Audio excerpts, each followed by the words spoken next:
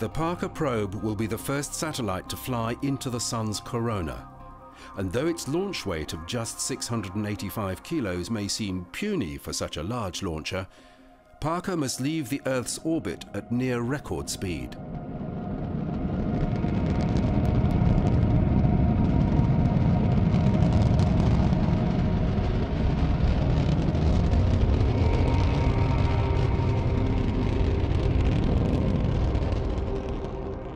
After a brief period in a parking orbit, the second stage reignited to break the bonds of Earth's gravity.